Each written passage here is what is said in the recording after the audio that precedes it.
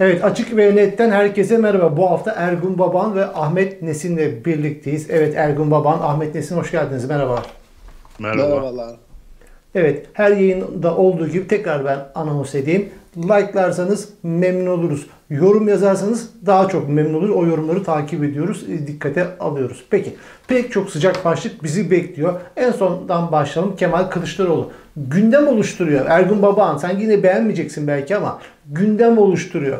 Elektriğini kestiler. Parasını ödemedi diye. Ve bayağı gündem oldu. Bayağı gündem oldu ve dünya basınında bile yer aldı. Bu bir başarı değil mi? Kimden başlayalım? Haftanın konundan başlayalım. Ahmet Nesin. Şimdi e, Kemal Kılıçdaroğlu uzun zamandır gündem zaten. Daha doğrusu Millet İttifakı ve onun başındaki kişi de esasında e, Kemal Kılıçdaroğlu çok uzundur uzun zamandır gündem. Daha doğrusu artık e, Erdoğan'ın ve AKP'nin gündem yaratacak bir e, konusu kalmadı. Gündem yaratacak konusu kalmayınca e, muhalefetin yaptıkları üzerinden Türkiye'de tartışılıyor. Dikkat edin şeye e, internetteki daha doğrusu televizyon kanallarındaki o e, bilgisiz insanların çıkıp yaptığı konuşmalara e, ciddi bir şekilde sadece muhalefet konuşuluyor. Yani bir ülkede bir buçuk iki senedir e, kim Cumhurbaşkanı adayı olacak tartışılıyorsa bu demektir ki muhalefet bir kere oradan tıkamış gündemi. Ve bunu da muhalefet kendisi tartışmıyor. Yani iktidar muhalefetin adayını tartışıp kendileri belirlemek gibi bir noktaya geldiler neredeyse. O yüzden Kemal Kılıçdaroğlu'nun gündem olması ilk defa değil ama dünyada da gündem olması çok önemli bir konu tabii. Yani Yaptığı... bu hamle başarılı oldu mu sizce? Ne diyorsunuz? Yani elektrik meselesiyle alakalı bu Bence eylemin çok... ülkenin karanlıkta kalan ailelerine ses olmak içindir dedi ve bir hafta sürecek dedi. Bence çok önemli bir e, yani bir aktivist hareket bu. Bu bayağı bir parti genel başkanından çok daha doğrusu CHP genel başkanından çok sanki orada bir aktivist var gibi bir eylem oldu. Ne açıdan önemli? Ee, Türkiye'de bugüne kadar elektriği kesilen e, aile sayısını bütün Türkiye ve dünya öğrenmiş oldu. Yani 4 milyon evin 4... elektriğinin Hı. kesik olması aile değil ev, evin kesik olması e, bu çok ciddi bir rakam. Yani... Fakat burada Ahmet Nesin şeyin e, Bakan Fatih Dönmez Enerji ve Tabi Kaynaklar Bakanı bugün biraz önce bir açıklama yaptı. Dedi ki bu bir manipülasyon. Asıl rakam 4 milyon falan değil dedi. Ve şu an elektriği kesik abone sayısı 278 bin adet dedi bugünkü açıklaması. Bana biraz tuhaf geldi. Çünkü aynı bakan 2020 verileri için 3 milyon 700 bin abone elektriği kesildi demişti.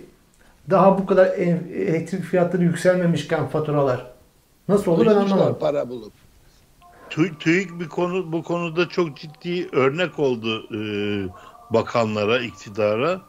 E, TÜİK'i örnek alıyorlar büyük bir olasılıkla. Son bir ayın kesilenlerini söylemiştir e, bakan. Yani yalancı da çıkmıyorlar. Rakam veriyor. E, bu yandaş medyaya da veriyorlar bu rakamı. Onlar da şöyle bir yapıp gösteriyorlar.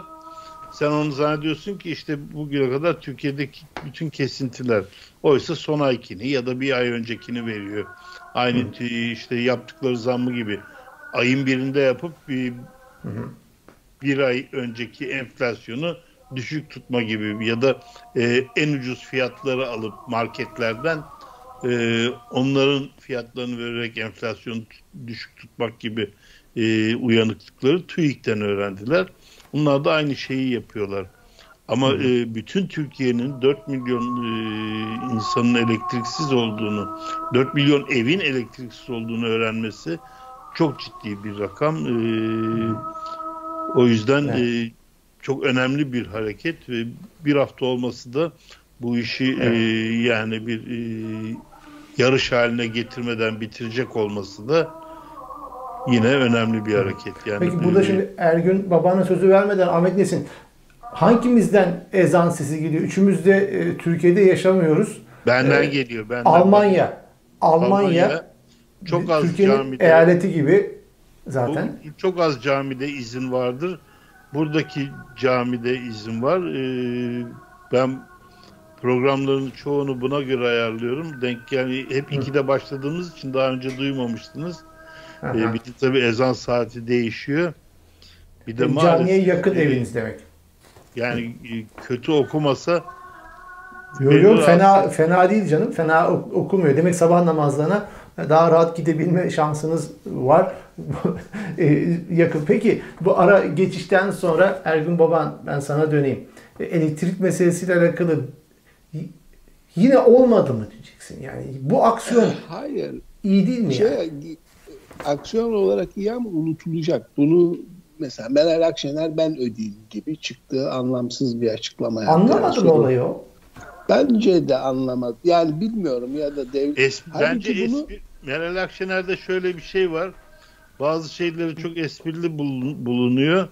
Ondan sonra bu insanlarda şöyle bir hastalık başlıyor. Pardon lafını kestim her gün.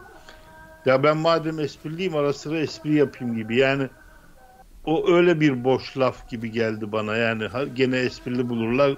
Bunun, bunun üzerine bir 24 saat anlatırlar gibi söylemiş gibi geliyor. Yok eşinin zorluk çekeceğine iddiasıyla ben ödeyeyim diyor. Çünkü o söz verdi ödenecek ben ödersem sorun. Halbuki bunu yaysalar bütün parti teşkilatlarına yönetim 2 milyon kişi daha 3 milyon kişi daha ödemese Türkiye geneline yayılsa bir sivil itaatsizlik eylemi haline gelse daha anlamlı olabilirdi.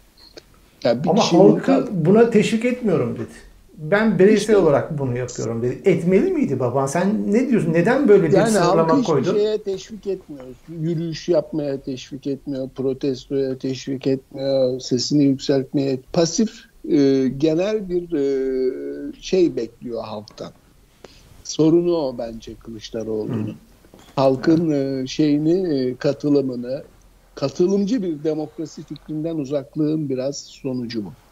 Yani Peki. sonuç itibariyle devletle vatandaşın karşı karşıya gelmemesi gibi bir şey. Halbuki sivil itaatsizlik suç içermeyen, e, şiddet içermeyen her eylemin desteklenmesi lazım bu şartlarda. Bu, bunun bunun bence bir nedeni var. Ee, bu 15 Temmuz'dan sonra e, iyice ortaya çıktı. E, bütün konuştuğum her grupla aynı şeyi konuşuyorum. Türkiye'de faşizmi e, hep e, sosyalistler ve e, işte belli bir dönemden sonra da Kürtler yani Kürtler hep yaşadı ama e, bölüm bölüm yaşadılar. 40 yıldır devamlı olarak yaşıyorlar. Erdoğan'dan öyle bir noktaya gelmiş ki e, kim olursa olsun Erdoğan'a karşı olan herkes bir kere hapse girecek ve işkence görecek noktasında. O yüzden e, sosyal demokrat olduğunu söyleyen ve olmaya çalışan son dönemlerde ben öyle görüyorum CHP'yi e, ama bir süreçten geçiyor. Dahil hiç kimse işkenceyi ve faşizmi bu kadar yanı başında yaşamadı. Yani hep o Almanya Nazi dönemindeki e, papaz anla, olayı anlatılır ya yani sıra bize de geldi kimse kalmamıştı çünkü. Hı hı. Şimdi Türkiye bunu ilk defa yaşıyor. O yüzden e, nasıl eylem yapacak ve sonucu ne olacağının pratiği yok Türkiye'de. Şimdi şöyle bir gündem var. Baban sana döneyim. Alaaddin Çakıcı ABD'ye gittiğine dair bir haber çıktı geçen. Sözcüdeydi zannediyorum haber çıktı. Evet. Ee, daha sonra ben Alaaddin Çakıcı'nın basın ve halkla ilişkiler sorumlusunu da aradım dün gece. Dedim hakikaten Çakıcı Amerika'ya mı gitti? Evet Amerika'ya gitti. Öyle biri mi var? Var var öyle biri var. Var var. Tabii. Adam kurum abi. Adam kurum yani bir müessese öyle şeyleri falan var. Neticede peki dedim niçin gitti? Sağlık sorunları sebebiyle gitti dedi. Şimdi bunu doğru kabul edersek Amerika'ya gittiğini bunu sen nasıl izah ediyorsun? Yani pek çok meselede mafya, adam öldürme, uyuşturucu, trafik Amerika'nın en hassas olduğu konulardır bu mesele. Bu kadar meseleler üzerine bir mafya liderinin Alaaddin Çakıcı'nın Amerika'ya gidebilmesi mümkün müdür? Yoksa itirafçı mı olacak? Neyin nesidir? Sen nasıl haberi yorumluyorsun? Ee, vize alış e, olması eğer vize aldıysa çok enteresan yani Çakıcı kimliğinde bir kişiye Amerika'nın vize vermesi mümkün değil ama e, şöyle bir uygulama var. Ben e, Sayın Abdullah Gül Cumhurbaşkanı iken kendisiyle e, Washington'a gitmiştik. E, Beyaz Saray ziyaretinde bulundu. Bir takım faaliyetlerde bulundu.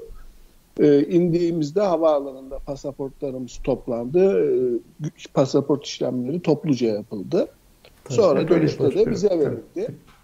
E, ben bir ay sonra tekrar Amerika'ya gittiğimde pasaportumu e, memura verdiğimde bir panik oldu adam işte sen hükümete mi çalışıyorsun, gizli servis elemanı mısın bir sürü şey sordu. Kendi çözemedi. Beni içeriye aldılar. Sonra anladık ki Abdullah Gül'le gittiğim için vizeden muaf e, şey girmiş bilgisayara ve onu silmeyi unutmuşlar. E, düzelttiler ve e, damgamı vurup geçtim.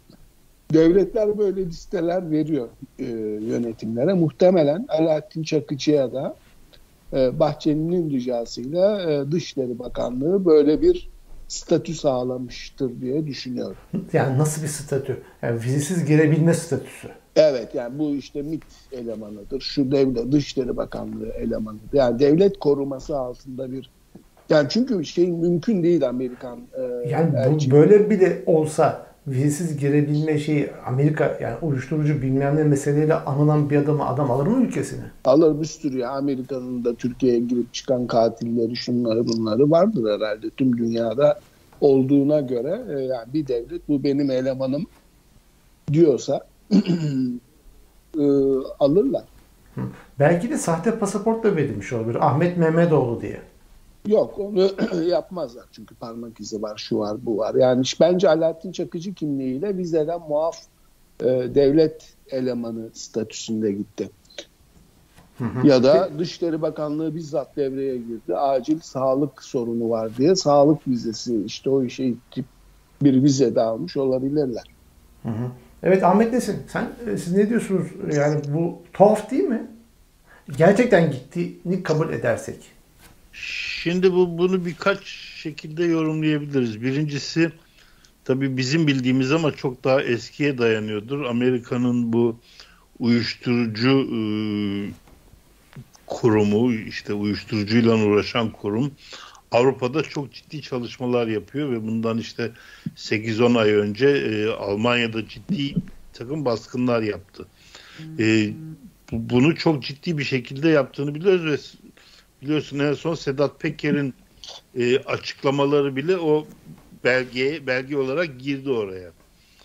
Şimdi Alaaddin Çakıcı olayına baktığımızda Alaaddin Çakıcı'nın e, tamam uyuşturucu bilmem ne bir sürü e, numarasını biliyoruz ama hapisten çıktı ve hapisten çıktıktan sonraki süreçte bir, bir olayı olduğunu bilmiyoruz. Kalmış bir cezası da yok yurt dışında. Şimdi şöyle bir şey var. Ben bunu e, kendimden biliyorum. Ben 77 yılında İngiltere'den sınır dışı edildim. Bayağı böyle işte 48 saatte çıkmazsam şu kadar hapis, şu kadar para cezası falan diye sınır dışı edildim. Sonra ben e, 2003'te iltica ederken esasında e, daha iyi Fransızcadan daha iyi bildiğim dil olarak İngiltere'ye gitmeyi düşündüm ama o 77'deki e, sınır dışı edilme beni ürküttü bir anlamda. O yüzden gitmedim. Fakat Fransa'ya geldikten sonra öğrendim ki bu ve buna benzer olaylar eğer ondan sonra bir şeyler yapmadıysan onlara göre yani onların yasasına göre ceza olmaktan kalkıyor. O yüzden e, Alaaddin Çakıcı'ya e, böyle bir e, kolaylık sağlamış olabilirler. İkincisi e, dediğimi gene birinciye bağlayacağım. Daha doğrusu üçüncü, üçüncü diyeceğim. Şimdi Alaaddin Çakıcı'nın şöhreti belli, şeyi belli, bilinen bir şahsiyet. Evet yani ama şö- şöhrete göre alamaz. ceza diye bir şey ya, yok. Amerikan yani... şey değil o. Ceza ile ilgili bir şey değil ki. Bu Amerika'nın e, bir işleyiş sistemi yani e, uyuşturucu kaçakçılığı yapmış. Komünist Partisi üyesiysen vermiyorsun. Öyle sorunları var Amerika'nın. Yani Eski, uyuşturucu evet. kaçakçılığından mahkumsan ona da vermez. Evet e, o komün eskiden de o kalktı şimdi e, Ruyu suyu Amerika e, opera için çağırıyor. O dönemde vize almak için ya da gidebilmek için ben komünist değilim e, imzası atman gerekiyor. Ruyus'u bunu e, imzalamak istemediği için e, Amerika'ya dü- dünyanın en büyük e, bas baritanı olarak e, gitmiyor. Bu ciddi bir e, Yani Onu- neticede onu- bağlarsak Alaaddin Çakıcı'nın Amerika'daki varlığını izah E- anlamında. Devletin en- en son desteğiyle şuna bağlayacağım. yani, Alaaddin o kesin. Çakıcı Alaaddin Çakıcı büyük bir olasılıkla e, bu Sedat Peker'in de açıklamalarının dosya alınmasından sonra bence bir takım bilgiler vermeye gitmiş olabilir. Olayın bu tarafına ciddi olarak bakmak lazım. Niye bilgi vermeye gitsin ki? Adam Kıbrıs'ta şeyde rahat yaşıyor.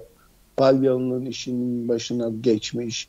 Yani keyfi yerinde. Ne rahatsızlığı var ki Çakıcı? Neden korkacak? Bir de İşte A- A- 15 Amerika'nın son Amerika'nın Yani son 2-3 onlarla- yıldır bastırdığı bu Av- Avrupa'daki uyuşturucu ticareti ve Türkiye'nin birdenbire çok ciddi birinci ülke olması e, yani e, bunların da kulaklarına haberler geliyordur. Yani bunların da basın danışmanı olanın istihbaratı olmaz mı?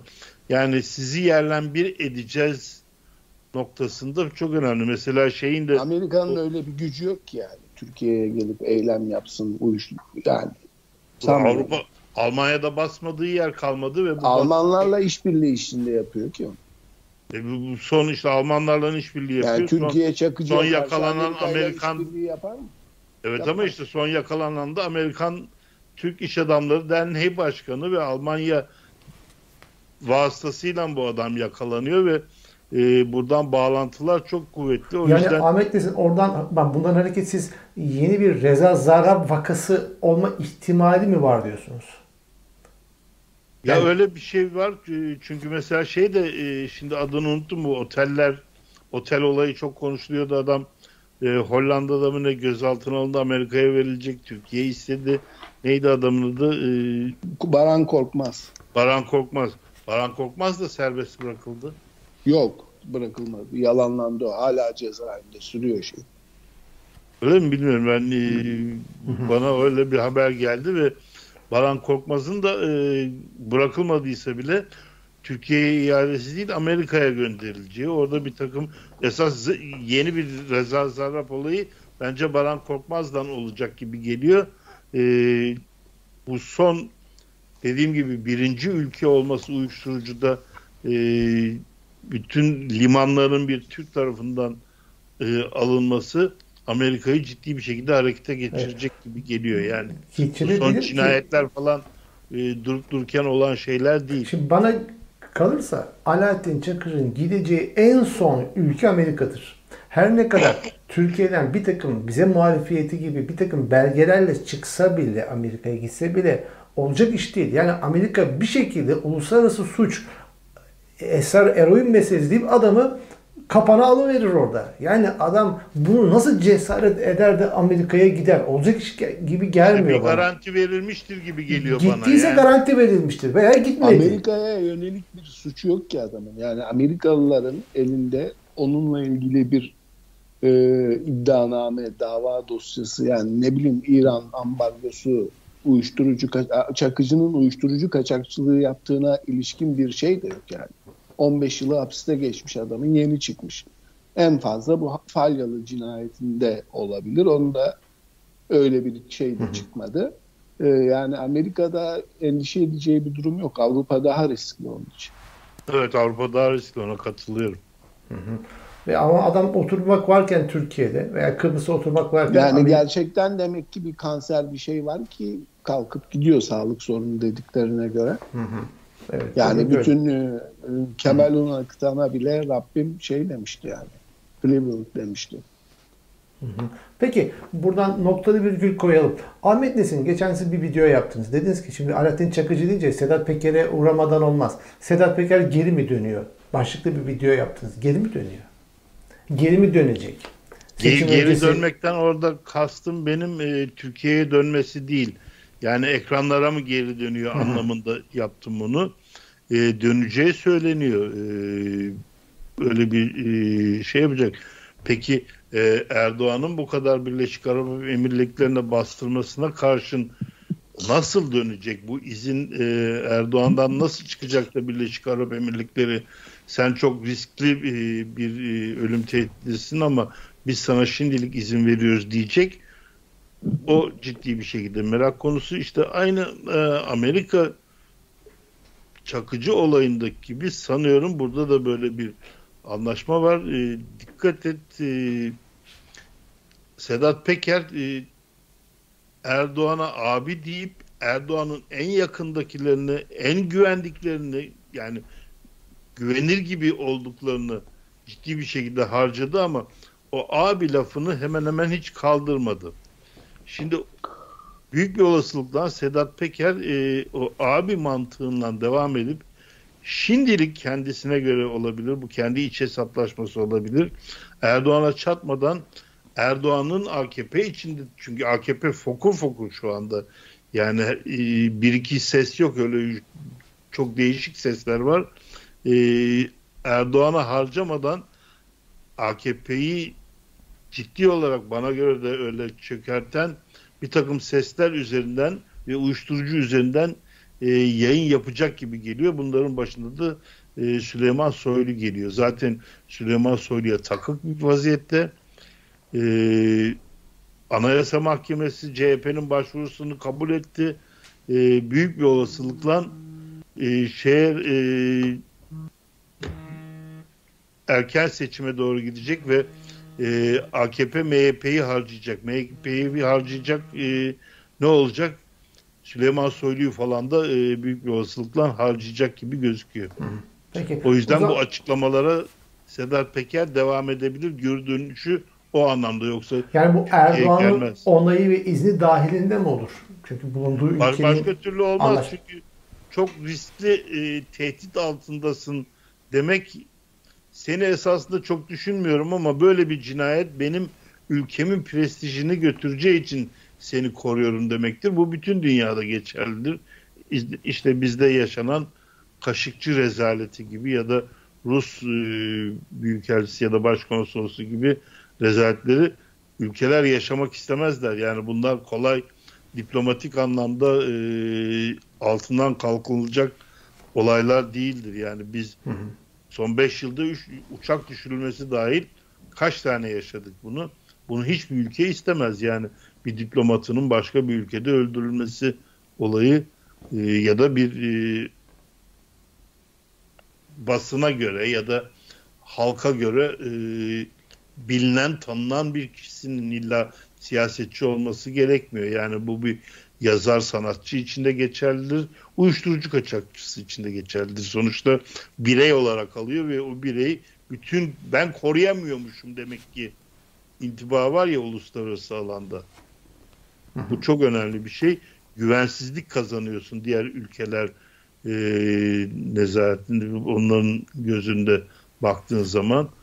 O yüzden e, böyle bir şeye e, Erdoğan izin verdiğinde şu anlamında geliyor.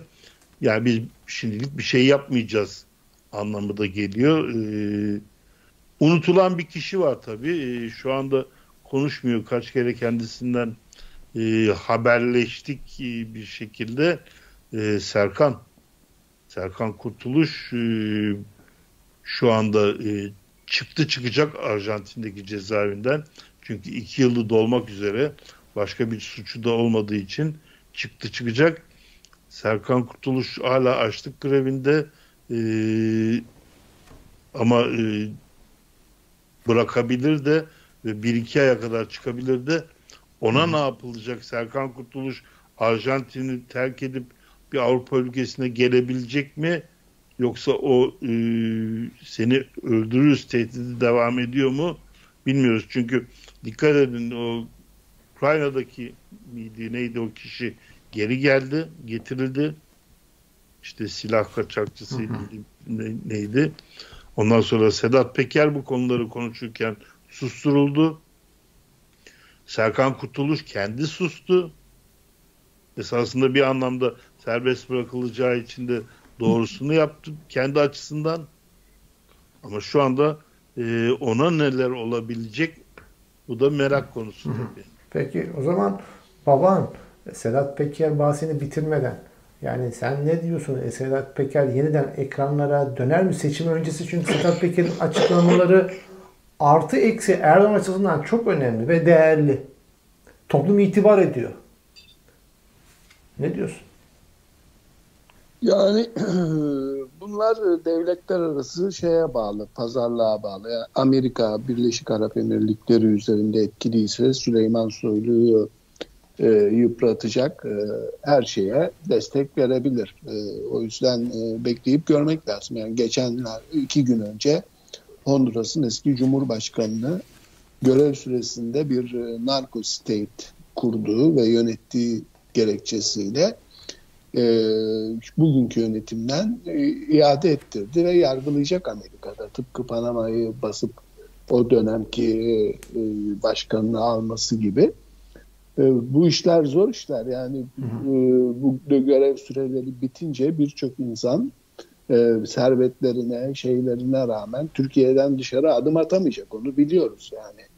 E, bugünkü iktidarda görev yapan, e, etkili olan çok kişi e, Amerika bizi yakalar, e, tutuklar, götürür, mahkum eder e, endişesiyle e, Türkiye'den çıkamayacak. Bunların e, hafızası uzun ve geniş işte Halkbank dosyasında olduğu gibi. E, bu ay önümüzdeki ay muhtemelen e, yüksek mahkeme onunla ilgili karar verecekmiş İlhan Tanır'ın ifadesine göre. Orada e, o mühürlü dosyalar e, kimler var, neyle suçlanıyorlar hiçbir bilgimiz yok. Bir sürü insan onun korkusunu yaşıyor. Yani Amerika'ya gelemeyen e, legal olarak e, bir turist olarak çok sayıda insanın olduğunu eminim Türkiye'de. E, Peker'i bence eğer e, öyle bir dönüş olursa Amerikan yönetiminin Birleşik Arap Emirlikleri'ne baskısı ancak geri götürtebilir e, şeye, video yayınlarına. Yoksa Birleşik Arap Emirlikleri yönetimi şu anda Erdoğan'la ters düşecek bir e, eyleme izin vermez. Peki Erdoğan'la Birleşik Arap Emirlikleri işbirliğiyle ekrana çıkartılır mı? Ve Tayyip abisi lehine konuşur mu? Seçim öncesi. Bilemiyorum yani onu hiç tanımadığım bir adam sonuçta bir mafya lideri her, her şey yapmış bunu da yapabilir mi yapar. Ama evet. ne diyecek Tayyip abisi için yani bunun aleyhte konuştuğu için bir değeri var. Yandaş olursa ne bileyim Hande Fırat. Muhalefete çakar. Muhalefete çakar. Kılıçdaroğlu'na çakar. Yani Meral Akşener'e çakar. Var, varsa eğer bildikleri elinde belgeler e, o etkili olabilir. Ama Varsa da iletilir canım. İletilir hayır, belgeler. Kılıçdaroğlu uyuşturucu ticaretine ne mi bulaşmış olacak? Ya da Meral Akşener iktidarın çok kreatiftir. Projeler üretir.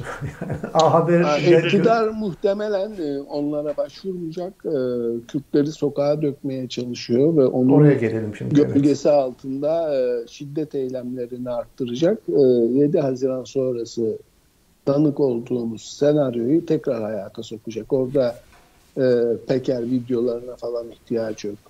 Hı hı. Peki buraya bu noktaya gelelim. Türk Silahlı Kuvvetleri sınır ötesi operasyonlar yapıyor. Irak Bugün Kobani'yi bombaladı. Kobani bombalandı. Şehir merkezi. Hı hı. Peki e, Metina, Avaşin, e, Zap ve bombalandı buralar. Devam ediyor. Harekat devam ediyor. Harekata da Pençe ve Kilit diye bir isim verildi. E, ve buna da bir gerekçe olarak da e, uluslararası hukuktan doğan meşru müdafaa hakkımız doğrultusunda diye bir gerekçe sundu Türkiye bu konuyla alakalı ve arkasından da Duran Kalkan'ın PKK'nın önde gelen isimlerinden. Duran Kalkan'ın açıklaması geldi. Dedi ki Türkiye'nin her yerine saldıracağız. Sadece askeri hedeflere, mevzilere değil, kentlere saldıracağız. Hiç beklemedik yerde her yer savaş alanı olacak. Kentlere, sivillere saldıracağız anlamına geliyor bu biraz. Yani kentlere saldıracağız, askerlere değil diyor. Askeri alanlara değil. Bu ne anlama geliyor? Nereden çıktı bu açıklama? Buradan bu neyin nesi? Kimden başlayalım? Ahmet Nesin? Şimdi bu bir kere her yaz geldiğinde bir bildiğimiz bir e, Irak'a, Suriye'ye, orada Kürdistan'a olan saldırıyı şimdiye kadar biliyoruz ama bu sefer e, tam iyice seçim mantığıyla yapılan bir saldırı var ve ne kadar süreceğini e, bilemiyoruz ama şöyle bir çıkmazı var esasında Erdoğan'ın. Erdoğan'ın en büyük çıkmazı şu anda ekonomi ve düzelme olasılığı yok. Bu savaşı 2-3 ay olarak gene yazın ben burada e, ne yaparsam kardır, ne kadar propaganda yaparsam kardır, ne kadar kendi anlamında PKK'li öldürsem kardır mantığından giderse e, parayı en çok ekonomide yiyen olay savaş. Yani o uçakların kalkması, onların e, bombalar bombalanması, o kadar insanın yurt dışında e, yani konumlanması falan çok ciddi bir para ve düzeltmeye çalıştığı ya da düzeltemeyecek ama gene de bir e, şeyi var. Ekonomiyi iyice bir felç edecek. O yüzden e, bu buna dönem, neden giriyor? Yani işte bu, bu dönemki felç... mantığı e, anlamak e, çok zor. Ben şuna yoruyorum yani nereden oy toplayabilirimin e, iyice kıskacına girmiş durumda Erdoğan. Yoksa bu yaptığı e, bu ekonomik durumda bu saldırının e, bu savaşın hiçbir anlamı yok gibi gözüküyor bana. Ama e, gene birileri onu ikna etti de e, böyle bir şeye yordularsa bilemiyorum. Tabii e, Duran Kalkan'ın açıklaması çok önemli. E, ne kadar gerçekleşir bilemiyorum. Sadece askeriye değil demekten ben e, şeyleri e, anlamıyorum. Pardon. Marketleri yani halka buna benzer e, bir şey olduğunu e, çıkartmıyorum. Kentlere saldıracağız cümlesini nasıl anlıyorsunuz? İşte kentlere saldıracağız dediği bence askeriye dışında işte bu emniyet de olabilir, e, işte jandarma olabilir. Jandarma artık askeriyenin içerisinde değil. Bu olabilir ya da ciddi bir lafta kalacak tehdit olabilir. Çünkü halka yapacak bir saldırının da e, bir mantığı yok. 40 yıllık e, bu savaşta e, görmediğimiz e, olaylar bunlar yap, yapılabileceğini ya da yapılacağını san, zannetmiyorum. Ama e, kentlere saldıracağız lafı bana gene de bir e, silahlı güçler anlamında geliyor. Yaparlar mı yapmazlar mı? Fakat öyle bir açıklama ki yani her türlü yoruma da açık biraz kapı bırakılan ama bir tabii işte şey yorum açık güçlendirecek bir, bir şey seçim öncesi. Yani AKP. şunu demiyor ben sivillere mesela daha net bir cümle kurmuş olsa biz burada iyi niyetli yorum çabasına girmeyiz. Yani bu yok onu kastetmemiştir falan. Hayır, yani. iyi, iyi niyetli ço- e, yorum çabasına girmiyorum. Yani bugüne kadar e, her yaz yaşanan e, bu olaylar karşısında e, neler yapıldıysa onların hemen hemen aynı oranda yapılabileceğini tahmin ediyorum. Yani e, diğer türlüsü e, bugüne kadar yaşanmış bir olay değil. Hı hı. Yani diyeceksin ki işte hani deriz ya ya burama kadar geldi. İşte o ben o burama kadar geldiği o anlık e, tepkiyle e, yapılmış bir açıklama olarak yorumluyorum. Yani e, halka bir bomba atacağını, PKK'nin Kürt hareketinin böyle bir şey yapacağını zannetmiyorum yani. Hı hı. E, o yüzden gene e, yapacaksa bunu asker, polis, jandarma üzerinden yapacaktır. Hı hı. Peki baban, şimdi Erdoğan hesabına birazdan gelelim ama Duran Kalkan üzerindeki yorumunu alayım bu açıklamasını. Arkasında Erdoğan'ın hesabı ne? Oraya geleceğiz. Yani muhtemelen Duran Kalkan'ınki büyük bir öfkeden dolayı. Çünkü şey de var, Irak Kürdistan'ı da hedef gösteriyor orada. Ee, sadece şey değil, Türkiye kentlerinde değil, işte Başur'da da yapacağız eylem falan diye ve e, Kürt medyası da onu çok e, parlatmadı. Yani e, küçük gördüler. E, Karayılan'ın özellikle KDP'ye yönelik e, açıklamaları daha fazla yer buldu.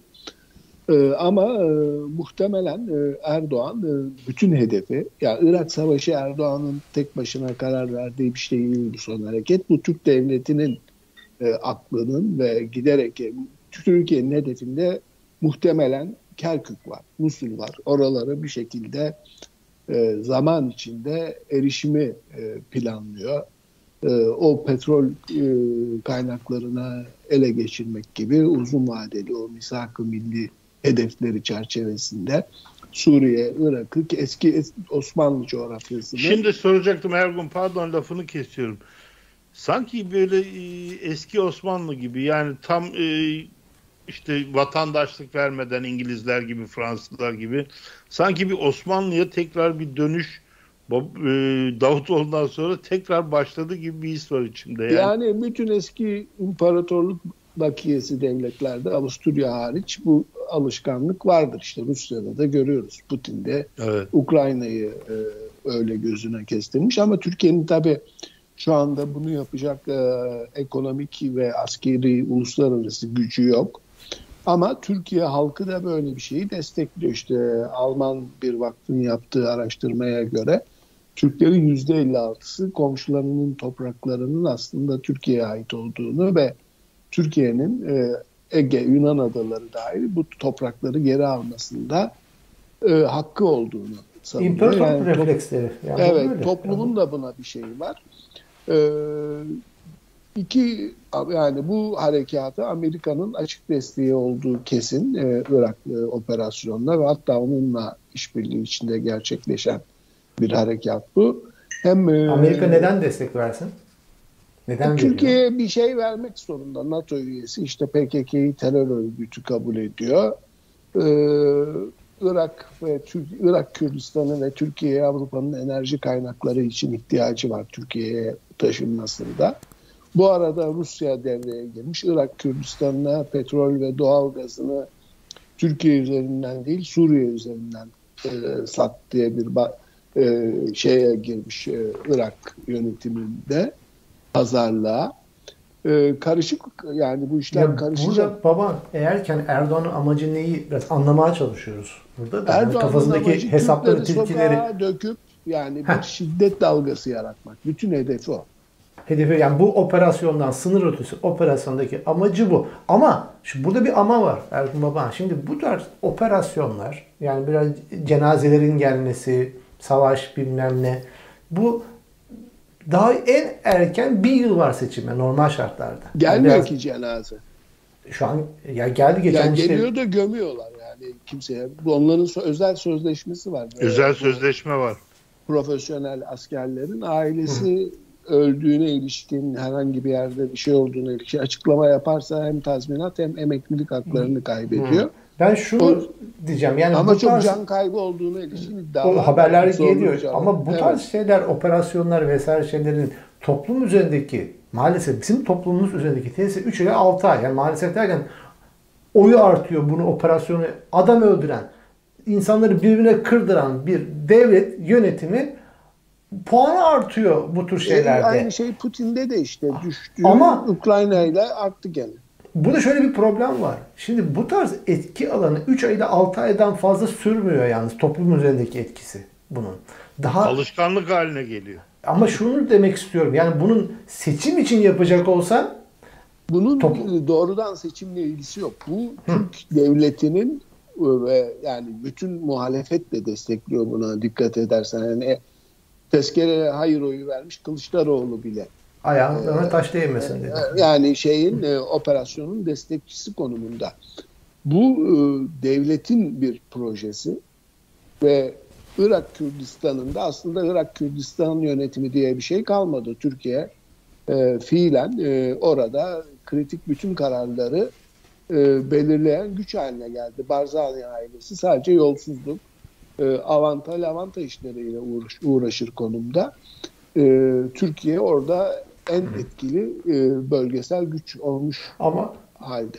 Abi peki Erdoğan'ın amacının e, Kürtleri sokağa dökmek evet. olduğunu sen e, yorumluyorsun. Bunu Irak'la yapmayacak. Suriye işte Kobane'yi bombalayacak. E, Irak e, Türkiye'nin Kürdistan coğrafyasındaki zulmünü arttıracak. Ve Kürtler bir şey yapmasa da e, kendi elemanlarıyla bir takım kışkırtıcı IŞİD var elinde bir sürü cihatçılar var e, rejimin. Onları devreye sokacak. Yani o zaman Kürtleri sokağa dökmesiyle bir sonraki hedefi ne? E, korku rejimi e, halkı güçlü lidere yönlendiriyor. Yani 7 Haziran'da e, o kadar oy kaybetmiş parti nasıl yükseldi? Hatırla Davutoğlu'nun sözlerini şimdi çok demokratım diyor ama bombalar patladıkça AKP'nin oyu artıyor demişti Davutoğlu. Evet. Ee, ve ciddi bir şekilde 7 kaybettiği 7 puanı geri aldı o dönemde. Halkın en önemli şeyi e, can güvenliği e, endişesi. Ekonomiyi unutturur mu bu sefer? Çok emin değilim. Aynı senaryo başarılı olur mu? Ama, Ama ekonomiye ayrı bir kambur Kürtler, bu. Ekonomi, Artı bir kambur. Derdi değil ki onun yani. Ekonomi çökmüş, batmış. Şimdi bu ay e, Amerikan Merkez Bankası en az 0.50 puan arttıracak. Türk lirasının nasıl hızla çökeceğini göreceğiz. Yani insanlar aç kalmış, şey olmuş artık e, Erdoğan'ın ve yönetiminin e, derdi değil. Ama her şeye rağmen Kürtleri çıkarırsan birbirine eşit iki grup var. Cumhur İttifakı ve Millet İttifakı. Ya bu tabloda normal şartlarda demokratik bir ülkede e, Cumhur İttifakı'nın 10 bile olmaması lazım. İşte 4 milyon kişinin elektriği kesik, herkes işsiz, domates taneyle satılır hale gelmiş. E, korkunç bir e, ekonomik tablo var. E, herkese baskı, zulüm, yolsuzluk ne dersen. Ama yüzde 40 bandına yakın bir yerde Cumhur İttifakı. E, Kürtleri sandıktan uzak tutarsa yüzde 5-6 çalarlar yani sandıkları çok rahat bir şekilde. E, o gerçeği görmek lazım. Bütün hesabı Kürtsüz bir seçim e, ortamı yaratmak yani bence. Anayasa Mahkemesi döküm... Başkanlığı'nın gidişi önemli o açıdan yani. Anayasa Mahkemesi Başkanı niye gider Cumhurbaşkanı'na? Yani Amerika'da Yüksek Mahkemenin Başkanı niye Beyaz Saray'a gitmez. Bence niye? HDP davasını konuşuyor. Yani HDP'yi kapatma planları var anladığım kadarıyla. Ee, evet. HDP'li siyasetçilerin de e, siyaset yasa beraberinde yani hiçbir alan bırakmamak ve yeni parti kurma noktasında da bir takım zorlaştırıcı faktörleri de yani devreye Mevcut sokuyor. partiler var. Ee, şimdi burada gördükleri bir gerçek de var. Yani Kürtler en organize, en disiplinli e, toplum e, halk Türkiye'de şu anda. Partisini kapat, liderlerini hapse at, evini bas, öldür, panzerle üstünden geç. E, vazgeçmiyorlar. Yani bu e, Balkanlarda başlamış Türkiye'nin işte bu ırkçı, soykırımcı politikalarının doğmasına yol açmış ulus bilinci çok güçlü bir bilinç. Yani e, Türkiye e, 30-40 yıl önce Kürtlere temel haklarını vererek e, daha kolay çözebileceği bir meseleyi bugün e, içinden çıkılmaz bir hale noktaya getirmiş durumda kendi evet. açısından. E, ve bunun kaçınılmaz sonucu olarak Suriye'de, Irak'ta işgalci durumunda. E, buradan e, çıkışı çok kolay değil Türkiye'nin ve e, devlet ve toplum da aynı noktada. E, zorluğu büyüten bu. Demokratik çözüm konusunda e, şu anda Kürt meselesinde işte Ali Babacan gitti Diyarbakır'a. Orada yaptığı konuşmalarda bir tek Deva Partisi'nin Kürt meselesinde açık, net tavrı var. Diğer CHP işte Demirtaş çıkacak, aslanlar gibi meclise gelecek gibi zırva, saçma sapan laflar dışında Kürt meselesinde bir politikası yok. Ne diyecek, ne yapacak? Yani e, bu Kürtler e, sonuç itibariyle sandığa gittiğinde kendisi açısından Kürt olarak Cumhur İttifakı ile Millet İttifakı arasında bir fark görecek mi? Bahçeli gidip e, Akşener gelince Kürtler demokrasiye, hakka, hukuka mı kavuşacak? Aynı sorun devam edecek. Geçmişten biliyorlar.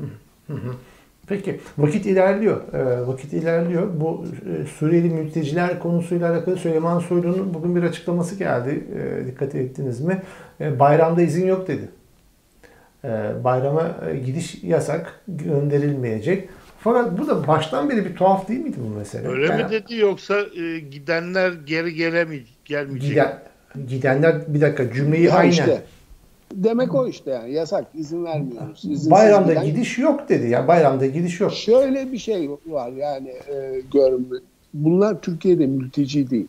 Türkiye Sığınmacı. doğudan mülteci almıyor. Batıdan alıyor sadece. Hukuki durumları karmaşık. Türkiye'de halkın anlamadığı bu. Yani bu insanların hukuki bir statüsü yok. O yüzden e, ülkelerine gidip gelmelerinde de yasal olarak bir sıkıntı yok. Yalnız sığınmacıların yani mültecilik öncesi olan yani mülteciliğe müracaat etme, mülteciliği onaylanmamış. Bu sığınmacılar... Onlara öyle bir hak yok ki. Hiçbir şöyle, hukuki statüleri yok bu insanların. Şöyle Sadece bir, bir kimlik var. İçişleri şöyle bir karışık yani. şöyle bir karışık olay var. Ee, ben bunu daha önce de yazdım. Ben eski bir iltica olduğum için iltica yasasını falan e, biraz iyi biliyorum. Bir de Türkiye'nin e, iltica masasında e, şerh koyduğu bir olay var. İşte batıdan iltica kabul edebiliriz. E, şey doğudan... yani yasal olarak bu uluslararası hukuk çerçevesinde yapıyor bunu. Tabii tabii tabii. Yani bu, bu gayri e, nizami bir şey değil. Yasa olarak oraya şerhini koymuş. Ben iltica yasasını böyle kabul ediyorum demiş. E, batıdan dediğimizde tabii biz şaka yollu Almanya'dan Fransa'dan mı gelecek, gelecek diyoruz ama işte o e, Bulgaristan, Arnavutluk, Yugoslavya falan onu gözünde bulundurarak, bulundurarak bunu söylemiş. Şimdi burada başka bir sorun var. Bizdekiler misafir konumunda iltica etme hakları olmadığı için şöyle bir şey var. Eğer vatandaş değilsen ve Suriye'den savaştan dolayı kaçtıysan Suriye'den pasaport alamazsın. Vatandaş olmadığın için Türkiye'den pasaport alamazsın. Geçici pasaport aldıysan bütün iltica pasaportlarındaki gibi olması lazım. Geldiğin ülke haricinde dünyanın her yerine gidebilir pasaport. Veremez ki Türkiye ona öyle bir pasaport. Hangi şeyle verecek statüyle? Ay belki misafirim de vardı. Bu bunu belki üzerinden yapıyorum. Yani, Yok belki değil. Yani ha, veremez. Şimdi o zaman bu gidenler bu bugüne kadar gelip de bayramda gidenler Suriye pasaportu alamayacaklarına göre eğer o statüden geliyorsa Türkiye pasaportu da alamayacaklarına göre kimlik an... geliyorlar Kıbrıs gibi. O kadar yüz binlerce insan mı? Evet. Şaka gibi yani. Niye? Ama böyle kimlik bir şey var. Hayır ama böyle bir e, anlaşma e, Suriye ile Türkiye'nin arasında var mı? Suriye, Suriye'den git yani sınır kapılarının çoğunda Suriye yok ki. Türkiye'nin kontrolünde bölge çok yani. Türkiye kendi elemanlarının denetimindeki kapılardan gidip geliyor insanlar. O da nüfus kağıdıyla vesaire. Evet, ama yani ama temelde bir şey olaya var. Şöyle baktığımızda yani mevzuata boğulmadan yani eğer ki siz Türkiye'ye gelmişseniz hakları var. Var ama şu, şöyle demek istiyorum. Suriye'de savaş var kardeşim. Beni ben Türkiye'ye kaçıyorum demişseniz ve siz tekrar her bayramda gidiyorsunuz. Burada bir tuhaflık yok mu? Ama zaten Suriyeliler Türkiye'de iş kurmuş tekstil yani 100 bin dolar yatırımlık o binlerce Abi ne kurmuşsa kurmuş. Yani Savaş sebebiyle malı Suriye'ye satıyor. Yani sen bu insanları almışsın. Hı hı. Hala da savaş var ve Esad e, Suriye'den kaçan herkesi döndüğünde kendi denetim bölgelerinde öldürebilir. Yani öyle bir risk de var. Yani bunu burada Suriyelilerin konumunu tartışmak ahlaki değil. Türkiye'nin konumunu tartışmak lazım. Türkiye açısından bakarsan mesela Hatay meselesinden kaynaklanan bir gerçeklik var. Suriyelilerin Türkiye'de e, gayrimenkul almaları hukuken mümkün değil. Şu anda alıyorlar. Evet. evet. Mesela bir Türk olarak gidip Türkiye'ye yakın e, Yunan adalarından gayrimenkul yani, alamaz. Evet. Suriyelilerin de Türkiye'de gayrimenkul alma izni yok ama artık Türkiye çorba olmuş. Yani hukuk üzerinden, yasa üzerinden Türkiye'yi konuşmak anlamsız. 4 milyon kişiyi almış ve giderek bu şey büyüyor. Yani sadece inşaat işi, ucuz tekstil işi değil. Mesela Suriyeliler belli bölgelerde yerleşiyor. Kendi restoranları, elektrik, elektronik eşya dükkanları, tekstil mağazaları, perdecisi her şeyi Suriyeli. Ve Suriyeliler Suriye şeyinden alışıyor. Esnaf da mağdur oluyor. Bir de Suriyelilerin e, yasal durumu olmadığı için vergi şeyi yok deniyor Türkiye'de e, mükellefiyeti. Bir haksızlık yani toplumun geniş kesimlerinde giderek yayılan yüzde AKP'ye oy verenlerin yüzde yetmişi geri gitsinler diyor. CHP'de yüzde seksen beş. E, bu öfkeyi görüyor şeyler ama E, 4 milyon e, Suriyeli var. Türkiye'nin zaten kendi e, Arap nüfusu azımsanacak bir e, oranda değil. E, Kürt meselesi gibi bir Suriyeli meselesi zaten işte bugünkü yazımda belirttim. Türk Kürt meselesi var. Alevi Sünni meselesi var. Layık giderek bu kırılganlık artı bir artıyor meselemiz yani. daha oldu. Yani burada toplum yani patlamaya doğru da gidiyor ve bu kışkırtılıyor da toplum. Yani Yok, sosyal medyadan bazı bazı şehirler var. Şimdi tartışma noktasının ağırlık kazandığı şehirler nedir? İşte Gaziantep. E, Reyhanlı'daki nüfus Suriyeli nüfus daha fazla. Ha, şimdi bu çoğalmaya başladıkça ciddi olarak ülkeler için tehlike başlıyor. Ee, mesela Fransızlar yıllardır şeyi tartışıyorlar. 2050'de e, Fransa'daki Müslüman ve Hristiyan sayısının orantısı ne olacak? Bu endişeyi taşıyorlar ve bunu da söylüyorlar açıkçası. Almanya için de geçerli, İngiltere için de geçerli olan e, böyle bir tartışma var. E, şimdi Türkiye'de de Suriyeliler üzerinden ya da e, ağırlığı Suriyeli olmak üzere bütün göçmenler, misafirler üzerinden böyle bir tartışma var. Bu tartışma şimdilik 2-3 şehir e, için yapılıyor. Ama İstanbul'da bu sayı... da çok ciddi rahatsızlık var. Efendim?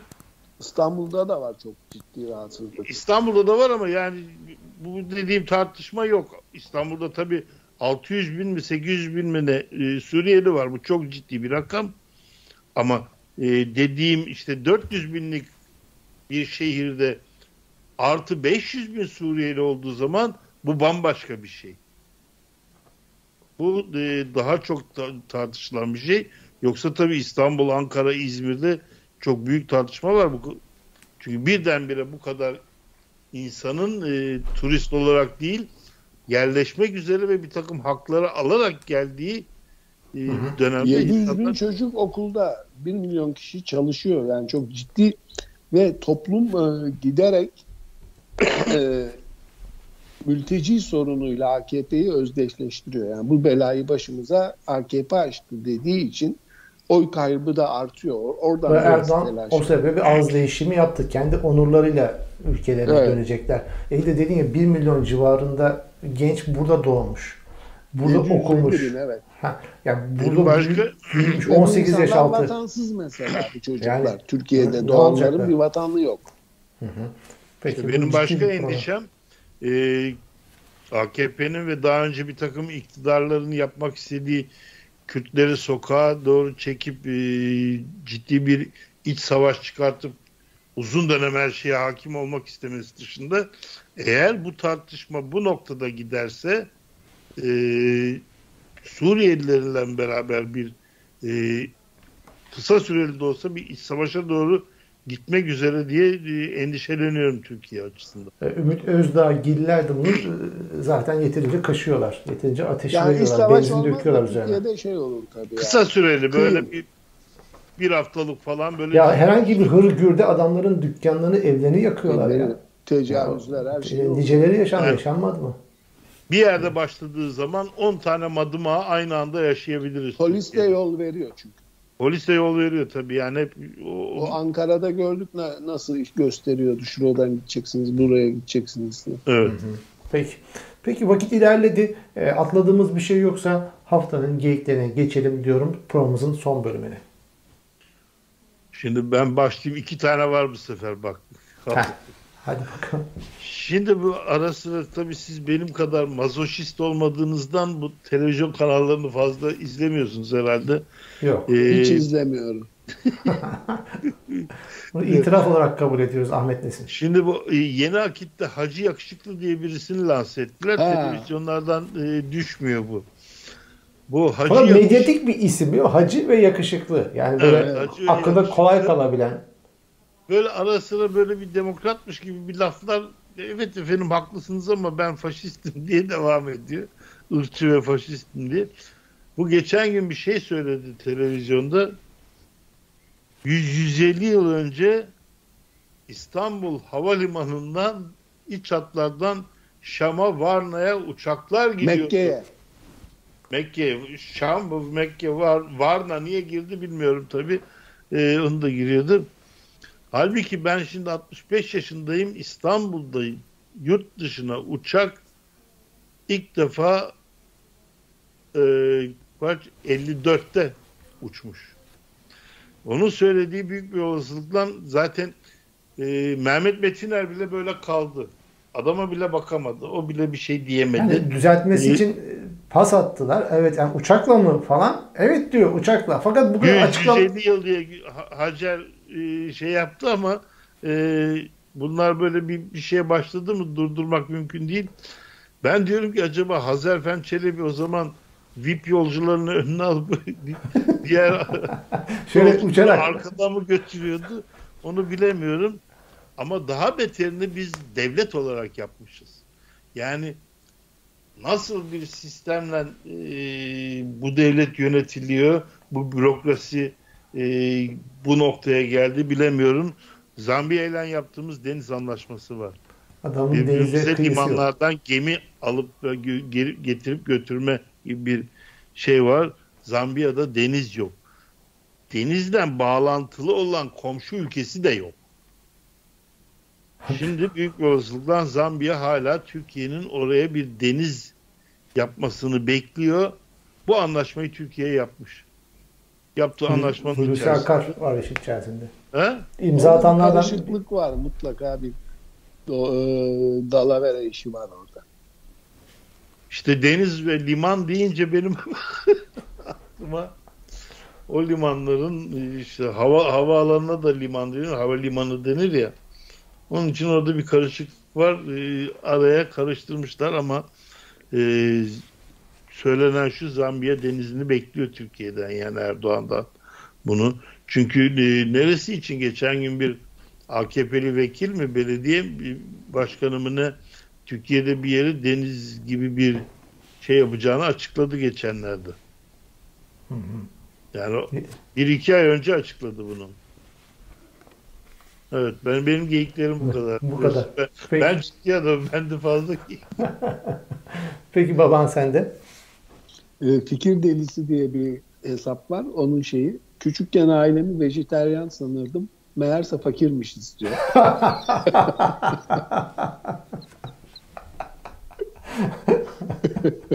Çok iyi niyetli bakmış küçükken tabii. Bize bu iyi niyetten büyütülmedik mi? Şükke diye bir hesap. Kira öder gibi ev sahibi olmak out, ev alır gibi kira ödemek in diye bir şey yapmış. Ev fiyatları biz uzaktayız. Farkında değiliz. Uçmuş gitmiş Türkiye'de. Ee, AKP'ye katılan İsmail Ok diye bir siyasetçi var. Eski bir paylaşımını paylaşmış Mehmet Altan falan. Bu kadar pislik yapan yabancı bir adamın arkasından gitmeyin demişler. Şimdi AKP'ye katılmış. Ee, bu da gerçek bir haber. Cumhurbaşkanı kararıyla emlakçılara Türkiye'deki gayrimenkulleri yurt dışında pazarlayıp satmaları için devlet desteği verilecek bundan sonra. Bu ne rezilliktir ya? Yani yabancıların ev alma sebebi de işte Antalya, İstanbul vesaire yani korkunç fırladı fiyatlar. Erkan ben e, 5000 liradan aşağı ev yokmuş İstanbul'da. 3 ya da 4 yıl önce burada bir AVM'de hani AVM'lerin içerisinde Türkiye'de stand kiralıyorsunuz. Banka kredi kartı veriyorlardı bir ara ilk 2000'lerin başında. Ay, İzmir'de bir e, kooperatifin ev sattığına şahit oldum. Almanya'da Türk çok olduğu için o doğal ama bu vatandaşlık veriyor yani şey değil. Ee, asgari ücretler yapılacaklar listesi diye bir hesap var. Banka reklamında elektrik faturasını 6 taksite bölebilirsin denilmesi ve bunun herkese normal gelmesi diye Kılıçdaroğlu'nun eylemiyle birlikte bir tweet paylaşımı var. Bununla da son. Aslında bir tane komik bir şey var da e, video adama congratulations yazmışlar tahtaya sokak röportajında. Bu ne diyor? Congratulation bu Yunanca bir kelime diyor. Tion diye biten kelimelerin hepsi Yunanca'dan gelir diye yorum yapan bir arkadaş var. Onu. Yunanlar atma, atmasyondan sonra bırakmışlar diyor. Bir de tabii şey var. e, Ayasofya'nın kapısı. Yani Ya. e, Yunan medeniyetinin e, binlerce yıl koruduğu, yüzlerce yıl koruduğu şeyi e, biz e, cami yaparak içine ediyoruz açıkçası. Yani dokununca birden döküldü gibi bir açıklama getirdiler. E, Ya, şey, a- bir şey soracağım Erkan. Mesela Türkiye'nin Ayasofya'yı e, cami yapma hakkı var da İsrail'in El Aksa'yı sinagog yapma hakkı yok. yani kılıç Yani hakkı haksa hakkı var. var. Hı, o var. Olacak iş değil ama bu tür şeyler. Evet. Peki e, devam edeyim benim geyiklerime. E, trajik, trajik komik mi diyeyim, trajik mi diyeyim? Yani Bakan Öz, e, Bozda, Adalet Bakanı bu adam. Altını çizerek söylüyorum diyor. Türkiye cezaevinde işkence ve kötü muamele yok. Ya daha yeni adamlar orada iş, işkenceyle Cenazesi çıktı. cenazesi çıktı ya. Ses kayıtları çıktı. Tabut kanlar içerisinde. Ve bu adam, bu bakan diyor ki Türkiye cezaevinde işkence kötü muamele ve ben de bunun altını çiziyorum diyor. Bugün senin üstüne birisi Amerikan üstünü çizecek. Dışişleri Bakanlığı'nın raporunda bile var işte Türkiye'nin reddettiği. Ama bizim bakan yok diyor. Neyse e, sabah yazarı Şebnem Bursalı. Emine Erdoğan'ın Nobel Barış Ödülü'ne layık olduğu gün gibi aşikar. Devlet ana sözünü sonuna kadar hak eden bir lider eşi dedi ve maaşına zammı hak etti bence. Ondan sonra devam Çantası bile çakma yazık kadın. Ha, yazık vallahi. Çakma olduğunu söyledi ya. Fakat o marka da, iyi marka dava açmadı o mesele üzerinden. Çünkü imitasyonun tanıtımını yapıyorsun. Teşvik ediyorsun. Kendi söylemedi onu Hande Fırat söyledi. Hande, o da yalanlamadı. Sessizlik içerisinde. ama. Ondan sonra Fuat Oktay, Cumhurbaşkanı yardımcısı bu adam. Dışarıdan gıptayla izlenen bir Türkiye var dedi. Dalga geçer gibi. Ee, ondan sonra ve Şentop da bu koroya katıldı. Meclis Başkanı çok sesli yansıtan özgür basın demokrasinin olmazsa olmaz unsurudur diye böyle bir basma kalıp laf etti ama Şentop'un bu haftaki güzelliği, şirinliği bir trolle muhatap olmasıydı. Terbiyesizlik yapma Frankfurt tarihe geçti. ya Türkiye devletinin iki numaralı koltuğunda Fakat oturuyor. o bu adam. AKP içindeki bir tartışma yani. Tabii. İyi de baba bunu sen niye Twitter'e yazıyorsun? Hayır biri ona bulaşmış. Ulaşmış. O da sinirlenip ona cevap vermiş. İlk defa yapıyorum böyle Yani bir meclis şey diye. başkanının yapacağı iş mi bu? Sonra o meclis başkanı ya. onu şeye yapıyor. Ee, kimse onun arkasından o biliyordur. Biz bilmiyoruz. Yani Melik Gökçek mi Süleyman Soylu mu bilmediğimiz biri var o şeyi yöneten. demişler ya sahibiyle konuş mı? demişler. Ee, Şey, Evet. Açıklama yaptı sonra e, meclis başkanı. Milletvekili arkadaşlarım dedik ya bu adamı sen niye muhatap oluyorsun? Bu, her bir trollün bir sahibi var AKP içerisinde. Şuna Sahibiyle konuş. Onun muhatap alması mutlaka e, önemli. 0-2 plaka taşıyorsun. İkinci adamsın. Ama daha önemlisi ne biliyor musun? Sonra o trollün ya ben telefon açtım konuştuk kendisiyle anlaştık. Ha?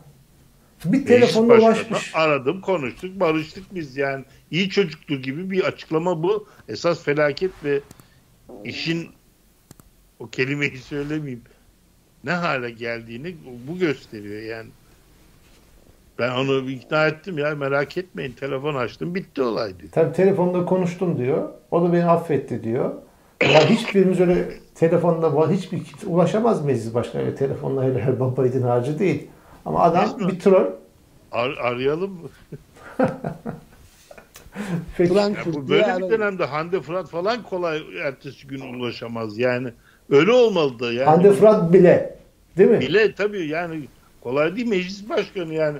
Size efendim telefon açayım da niye cevap vermedim bu şey değil ki.